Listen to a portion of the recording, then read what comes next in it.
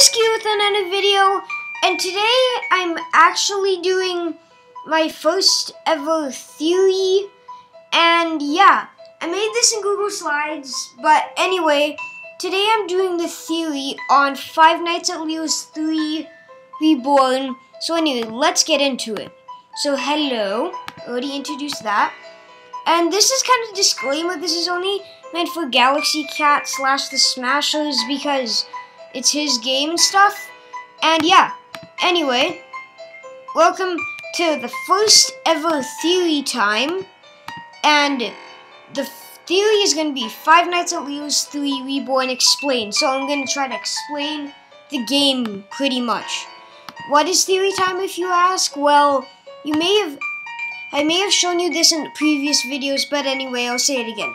Theory time is a session where I do theories on and on any things I get on things I get requested to do theories on, like FNAF uh, fan games. And then you may ask, what is Five Nights at Leo's 3? Which, yeah, I'll just explain that too. Five Nights at Leo's 3 Reborn is a FNAF fan game. If you don't want, if you don't know what FNAF is, click off the video right now. But anyway, Five Nights at Leo's Reborn is a FNAF fan game based off of the Five Nights at Freddy series. And anyway, this is no, it's not explained. It's a theory. So take that away, guys. So let's get into the theory, shall we? So anyway, the first thing I want to really discuss is I'm doing a who, what, where, and why format of how all of this is going to work. So let's start with who. So I guess you guys may be asking, so I'm going to use the who, what, where, and why theory.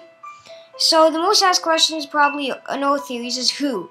So who are the characters and who are the characters I'm going to be using for this theory and everything. And the character I'm going to be using is number one, Frogger. And number two, I'm just going to explain Frogger before I say number two. Frogger is from a game called Five Nights at Frogger's 1, 2, and 3. Now, the Froglet series is connected to the Five Nights Leo series, which is proven by the posters in the games. I will bring them up on screen right now. Here we go. I will show you the proof. And here's the proof. See, don't go to Leo, stay here at Froggerts. Froggerts Ease is going out of business from Five Nights Leo's. And this. And guys, I just want to notice this. Is these guys are competitors, and I want you to remember that. I want you to remember that these guys are competing with each other in the same era to get more popularity, and they're competing to get the popularity. That's why at Froggerts it says don't go to Leo's, and at Leo's it says Froggerties is going out of business. And if you don't believe me, well, I'll say what games they're from. Right here. So, if you don't believe me, I'll tell you what games the posters are from. This poster is from Five Nights at Froggerts 2. And this poster is from Five Nights at Leo's 5. And this poster is from Awakening at Leo's 4. And you know what's unique about this thing is it's not a poster, it's an actual animatronic in the game. Which is really mysterious, but that's for a whole nother theory. Okay, but anyway, from this evidence, so with all this information, we can tell that year, tell the year that it takes place in, and what the order of the games, and the order of the games. But anyway, I'll get into that later. Let's get into the next character. The next character we have is Leo. And if you don't know who Leo is, he's basically the main protagonist of Five Nights at Leo's. And if you do play the series, now, if you do know what Leo looks like from At Leo's Reborn series, this looks nothing like him. I will bring up a picture right now. So here's the picture. I know this looks nothing like him. But anyway, guys, I'm going to show you some proof. Yes, I know what you're thinking. This looks nothing like him. But there are some things that look the same, including the ears, the eyes, and the squares under his eyes. So yeah, also, it could just be Galaxy Cat Games experimenting with shading, because he does not shade in any other any other of his games. So anyway, or or a completely different character and all. But if it is a complete a different character, I guess the theory is half true. I'll explain later why it may be half true. Okay, so Leo is face of all the games. This is proven because he is in the title of all the games. So let's get on to the next character. And the next character, we don't have a character. I'm just pranking you guys. But anyway, we're going on to what. So what happens in these events? So, so now we are going on to what. So with these two characters, they end up coming into one animatronic. So let me show you what the manifestation looks like. It looks like this. Just a manifestation of both of them. And yeah, pretty much it's very interesting. So this guy looks like Leo and Frogger combined. To be honest with you, this looks so freaking cool. But anyway, let's get on to the importance, to his importance in the game. So his importance in the game. So I've been watching Galaxy Cat games and working on Five Nights Leo's Reborn 3. And not I noticed something. He has never shown anything to do with this character, which I found a little bit weird since Galaxy Cat Games like likes to show things to his fans. So I think he's hiding something from us. And there he is again, just to get a look at him.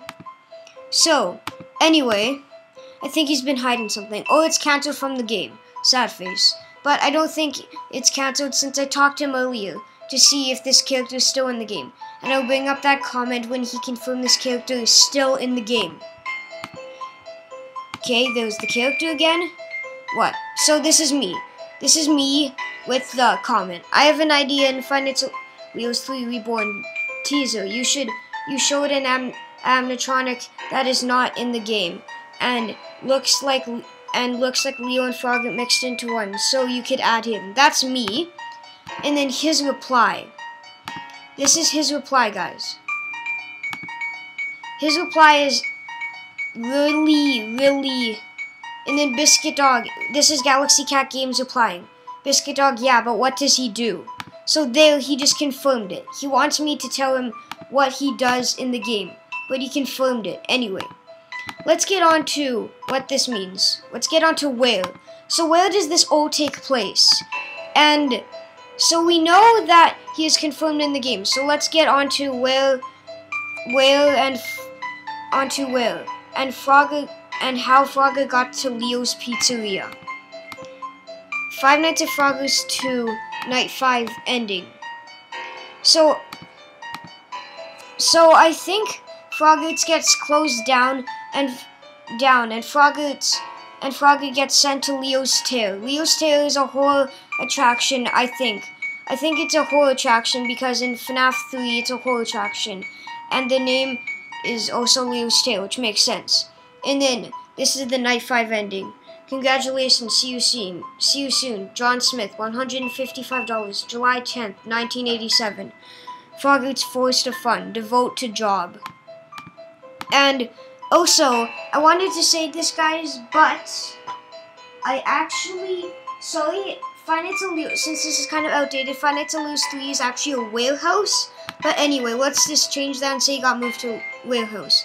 Well, it makes sense in my opinion. I will bring up some pictures of the of the complex right now so you can get a better picture of the complex. Leo's tail, parts and storage, and then this. And this. There is pictures of the office and rooms in the game.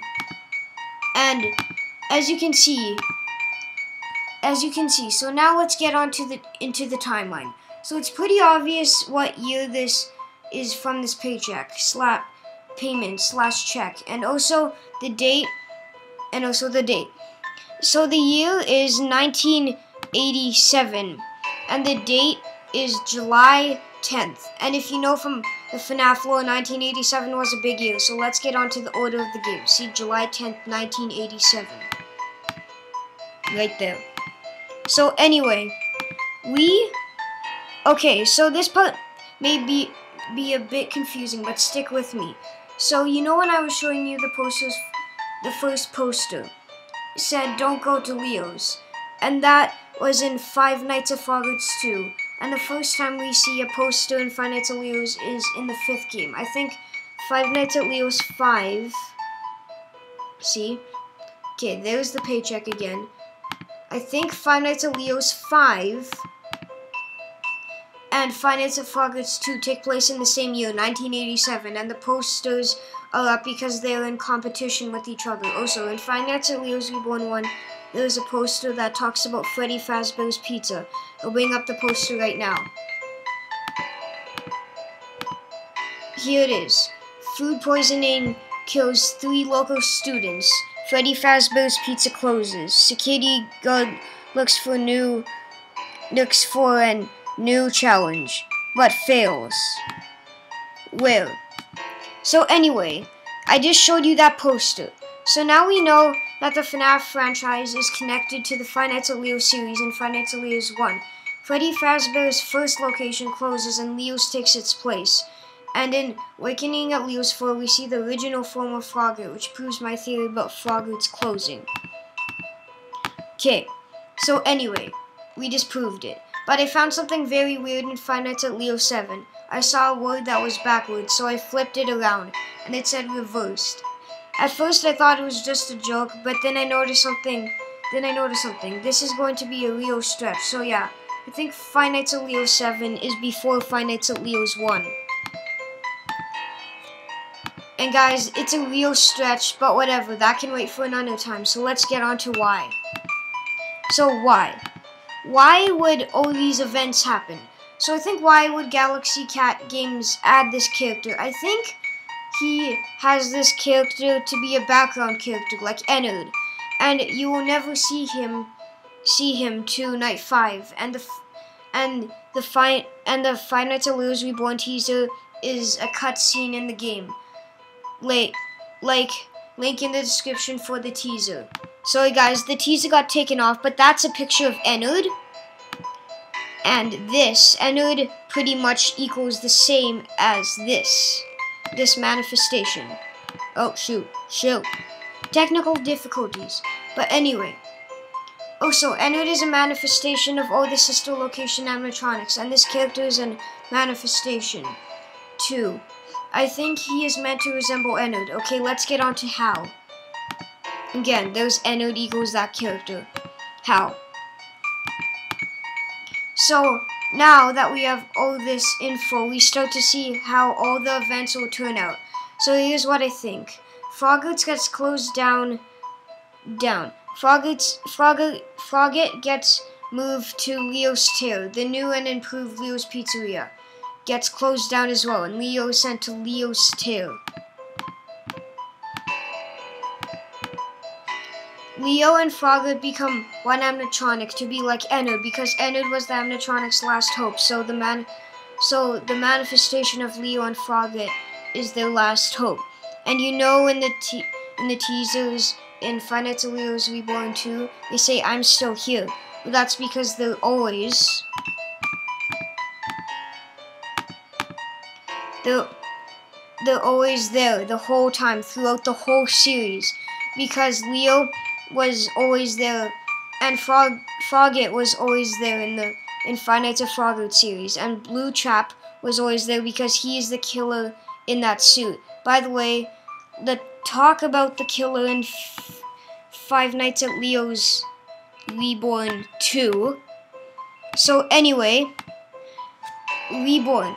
So, in at Leo's 2 Reborn, and when the phone guy says, I think something else is controlling the animatronics, that means the kids, the, the kids, the killer killed are possessing them, and their spirits wanted a new body so they could possess the animatronics, and in the phone call, they say the killer.